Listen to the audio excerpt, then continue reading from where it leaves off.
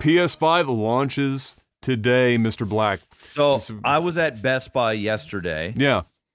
and I finally saw the PS5 in person. They have one on display. Was it the size of your torso? Adam, Adam, I'm telling you, I, I knew it was big. I knew it was big. But you didn't quite figure you I didn't. didn't. It didn't register until I saw it, and I, when I saw it, I had to do this. I had to go. I had to do this.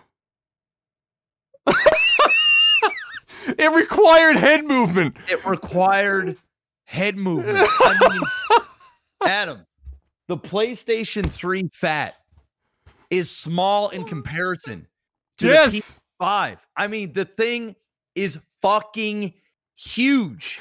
It's thick.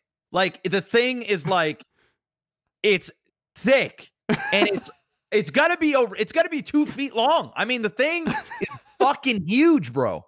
It looks it looks sexy. Like it looks like a it looks like a Dubai skyscraper. Just I don't even know how you would stand it up. Like I know it can stand up, but that's risky as fuck, bro. that thing tips over, it's breaking something. It's it, like I'm telling you, you lay that shit flat, it would take up a section of my desk. Like I, it's bigger than my keyboard. It's oh, bigger yeah. than my keyboard. Like it's huge. Oh, It's it's huge. it's enormous, bro. When they when they showed those pictures, it didn't really dawn on me how big it was until they stacked the the the fat PS3 Still. up against PS5. Still, Adam, still, the picture won't do it justice. You got to see it in person. When you see it in person, you're going to go, What in the actual fuck? what in the fuck? And I'm the type of guy that's like, I'm the type of guy that's like, I don't give a fuck, man. I'm used to having a big ass tower, you know, throw a console in there. Dude, even for me, it had me guessing, where the fuck would I put this thing? the thing is huge. It's huge. Dude. It's not going to fit in, in like regular ass entertainment sets. No, Like the ones that come in with normal cubbies that you like you, you slide in your your receiver and stuff. No, that ain't it. at It least the doing it. Series X, which is sub- substantially smaller, at least the Series X can stand up safely. Yeah, Like no, that's the preferred No. position. you are not standing up the PlayStation 5 unless you got it in some sort of like bracket, like on the side of a, an entertainment set. I would not You've got like that. you got an industrial cable, tension cable. I'm, dude, I'm I'm not even joshing you on this. The thing is that big, and it. I had I couldn't pick it up because it was in a case. I can't imagine how much it weighs. It looks like it is like the PS3 was a brick. This thing is like a foundation. It's like uh, the whole fucking ground floor. This is the thing you build the house on top of. The thing is huge. It's massive. I couldn't believe it. So yeah, no, uh, I guarantee you, uh, the they're gonna come out with a with a slim model. They have to come out with a smaller PS5 model, and that shit's gonna sell like hotcakes. Because when people realize actually how big this fucking console is, I can't imagine how big the box is. How big is the box to the PS5? Huge. I, it's gotta be. It's gotta be like the size of a monitor box. It's really huge. It's big. It's heavy. Hey, here's the crazy part. All right, so a couple of notes. Uh, one, I've seen a lot of people legitimately saying what you just said, where they they wanted to get a PS5, they went in or they've seen it in person, and then they didn't buy it because they said I actually can't fit this console Yeah. anywhere in my entertainment system comfortably. I have nowhere to put it. And so they just flat out didn't buy it because they have nowhere to put it. And they said the same words I'm going to have to wait for the Slim or whatever fucking like three years from now when they come out with a revised model. Cause I can't, I Oh, can't dude, fit the I- shit. My my guess is that we're gonna see some sort of smaller version of this PlayStation within two years. There is no fucking way that this is this is the answer. There's no way. I you know what the craziest thing is? You know what the des- uh, the designer said? He said at one point it was actually going to be bigger. No. The answer is no. They're gonna you I'm surprised Sony doesn't have like its own display that you can buy with it to like to like make it look nice Yeah, yeah. and like put put it in there so that it's nice and a fucking pedestal for the PS5. seriously.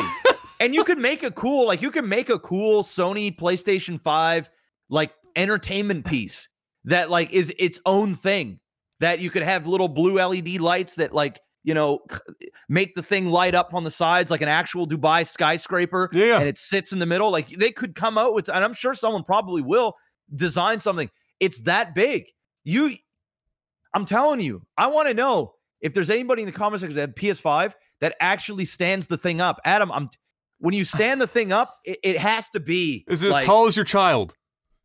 Yes, damn near close. It's definitely the size of my torso, like from my shoulder right down to here. Like, Yeah. um, it's gotta be that big. It's it's fucking huge. I had to do. I I had to do this. Like, I had to do. I had to look. I I couldn't just. I it was like being in a video game and you got to change your field of view to like see everything that's going on. I couldn't believe it. You I- need an FOV slider in your living room to see the entire PlayStation 5. straight up. now I'll say this: it looks like a quality product. It Sure. don't look cheap. Sure. It looks like when you're spending fucking eight hundred bucks or whatever the damn thing or seven hundred bucks or whatever it is. Uh, you kind of feel like you're getting your money's worth. Like it- you know, I'll give them that. It's a nice looking console, but I mean, Jesus. so so not that notwithstanding uh, a couple of other pieces uh, to, to go through for the, the news out on, on ps5 days so uh, sony has confirmed that you cannot store playstation 5 games on an external storage device at this time so last week we confirmed that you can't that the that the firmware isn't available yet to expand the internal storage with a, an NVMe drive um, because they're still waiting to have a, a better list and an idea of what will actually work and whitelist them. So you can't expand your internal storage. But people were hoping you could at least store PS5 games on an external hard drive and swap it to the Why? internal There's storage. no games. uh, well, I mean, They don't exist. so so to your to your point, I mean there are, there are a number of people that are taking PS4 games that they have installed right now and moving it to the PS5. Also, there you know if you do have the PS5 and you are buying a couple of games, so I'll give you an example here that popped up here momentarily. So, uh, so they confirm that that isn't a uh, an option at this time. On the Xbox, you can do that. You can store it on external HDD and swap it with the internal memory, uh, and vice versa, so that you don't have to re-download games. Whatever. It's not a huge deal that it's not happening now. It might be for people who who are trying to move multiple games with them, but in the future, hopefully the future isn't that far away. And the firmware is coming to let people do that shit because not everyone wants to re-download a 140 gig game every time they want to fucking uh, go back and play it, and they don't have the internal storage because the, the console only has 600 and fucking some gigs uh, of available memory. So yeah, a bit of a a, a bit of a uh, of an unfortunate thing, but I'm sure they're working on something uh, for that. So, um, so yeah, in fact, Sony has said they're whatever this means. Sony has said they are exploring the options for the future in regards to that. They're exploring it like clear like Christopher fucking Columbus. They're getting out there on the boat and they're looking around Hmm. a little bit.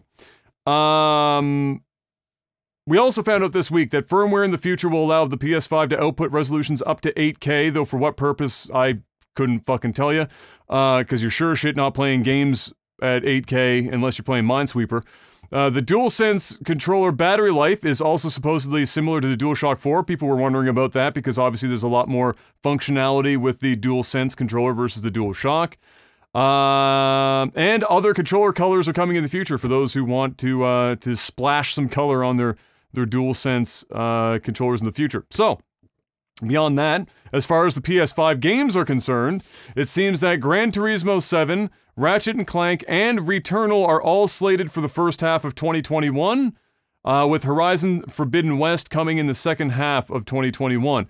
I just have it in my notes here. I will be fucking blown away if all of those hit the release dates. Jeff, how many- Clank, maybe. H- How many how many games are, are listed here? Let's see. We had uh, one, two, three, four. Of the four, Jeff, One. which how, one? Ratchet and Clank. Okay, that's the one that's hitting. That's the one that's hidden. All right. I, I, yeah, I think of all I think of all of them, I would say that uh, I would say Gran Turismo is the one that will hit. Yeah, might I think it'll be Gran Turismo. might get both. You might. Hey, you might get two. You might get two, you might get Gran 50. Turismo and Ratchet and Clank. 50 50. 50 50. 50 50. Um, You're definitely not getting Horizon Forbidden West. I that And I would you- be shocked. you are definitely not getting that game. No. That is not coming in 2021. No, I don't Just think so. every piece of pipe you can think of. Generally speaking, from what I've seen in, uh, of early interactions with the PS5 floating around social media from those that were sent a console early, uh, it's generally very positive, similar to the Xbox experience for people so far. I've seen some complaints of uh, interesting software interactions that have resulted in the console crashing and or freezing. Uh, and not everyone is a fan of the user interface at this time, but otherwise, so far so good.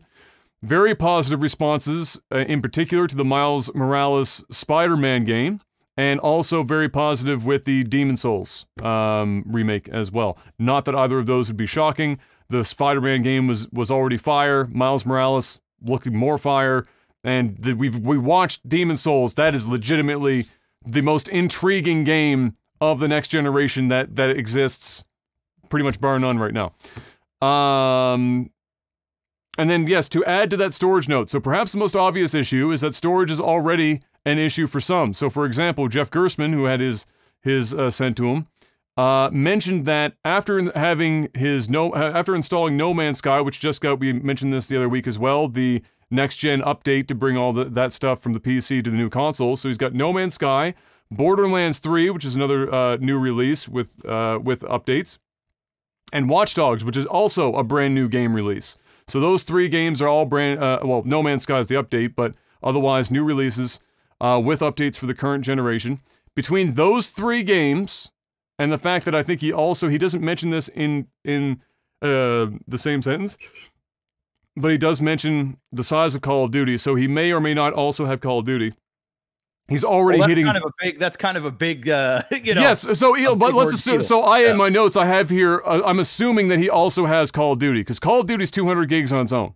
So Yeah. just Call of Duty, as he mentions in his tweet, is one fourth, Yeah. actually more than a fourth Yeah.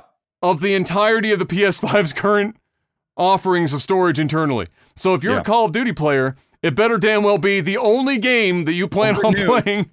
Good news. Most Call of Duty players Only play Call of only Duty. play Call of Duty. So that's good because So, you it's the know. only it's the only one it's the only one they're getting. Um, especially if you get like the one that just comes out tomorrow on top of Warzone, you're now looking at like fucking I don't know 300 plus gigs just for one and a half Call of Duties. Uh, so yeah, so between those three though, and possibly Call of Duty, he's basically already hit the wall. So you're looking at four titles, give or take. If you split Call of Duty into two other titles, it's basically what we were saying before. You're looking at maybe five, Five games, and that'll be your, your rough estimate, uh, plus or minus somewhere between four and five games uh, is what you're going to expect. Which, thankfully, again, as you mentioned, other than you know, unless you're somebody who's into pretty much any like everything that just came out recently, so Assassin's Creed, Watch Dogs, whatever you know that just came out, and you're looking to play them on the new consoles. Thankfully, you might not run into that issue. However, I do hope that for the sake of PlayStation 5 players, the firmware for the expanded storage, uh, or at least storing it outside the console and then bringing it back later, comes sooner than later because holy fuck, that's brutal. I, and and like Jeff Gerstmann mentioned as well as we talked about last week, um, it, they must not have been able to financially commit to a two terabyte internal drive. Otherwise, they would have. I, I have to imagine it was just too expensive and they couldn't make the pricing work because it would have drove the price up too high. The next line of consoles, right? The, Yeah. the- you know the, the the next line they'll the it'll come with bigger hard hard drive storage spaces. And I mean, uh, like like we've like we've regurgitated, there's not a lot of games out right now. Yeah. And I'm gonna be frank with people, and and All right, Frank, what do you got? I'm I'm gonna be I'm gonna be frank. Um, if you try if you trying to ship over like fucking two, three, four terabytes worth of games on a console and you're upset that you can't hold every fucking game possible, you need to start rethinking some priorities. All right. I'm just gonna keep it 150 percent. Um, if if if it's life or death for you that you can't have 15 titles fully installed on your PlayStation or Xbox all at the same time for the off chance that you want to play one or you play all of them. Yikes. Yikes. P- get a second job. You're doing too much. unless unless you are Jeff Gerstmann that gets paid large amounts of money to have video games on its consoles. I mean, I can appreciate need, wanting to be able to store them so that you don't have to re-download them. I think I that's that. reasonable. That's I, fucking reasonable. I get that, but I mean, fuck. I, I, I, I not all at the same time. I, yeah, I appreciate I mean, all at the same time. Exactly. It's like, dude, you can have uh storing them, yes. Games, but why do you have to have 30 games installed and ready to go at the drop of a dime? I mean, Jesus, that, it's 2020. Most download speeds these days are getting you a game downloaded pretty fucking quick. At most a few hours for a lot of people. Have the shit run overnight if you really need to. Do you actually have to have every single title you have installed on your godforsaken PlayStation on I mean, day one? Uh, and here's no. the crazy part, Adam. For a lot of people, it's yes only because they got nothing else to do with their fucking consoles. What else are you doing? You got no games to play. So let's let me feel like I'm doing something and get my money's worth. Let me just take every fucking game I have and try and cram it on here because I got nothing to play. What else am I gonna do? Maybe if they had a fucking game to play day one or day two or day four, they wouldn't have to worry about this because they'd be playing one fucking game for the God knows how long, but they have nothing to play. And unless you like Dark Souls or you like Spider Man, you got fuck all. And Spider Man's going to last you, what, eight hours? Come on. I've got fucking 40 godforsaken PlayStation and Xbox games, and I got maybe two installed on my godforsaken console. Two. And usually, when you beat the fucking things, you don't just go, yeah, you know what? I'm just going to leave this on my hard drive just in case I plan to play it again. Install, uninstall the fucking thing and install your next game. The fuck? But again, I appreciate wanting to store it off of the console so you don't I have to re-download it. Some people have data caps. We don't have to live with that, Jeff. We are we aren't we aren't living in the archaic world of data caps, but unfortunately, a shitload it. of people are living in the world of data caps. And Call of Duty is already chunking one fifth of an entire month worth of fucking data for a lot of people. So being able to store that shit is useful. And hopefully for the, like I said, for the PlayStation 5 users, hopefully for the love of God, they have a fucking, uh, a firmware update for that shit ASAP because there will be, it might not be you and it might not be me, but there's 110 million people with a PS4. I'm gonna hazard a guess that some would like to be able to have their game stored off, off the, the console for use in the future. It's a different animal, uh, to say the least.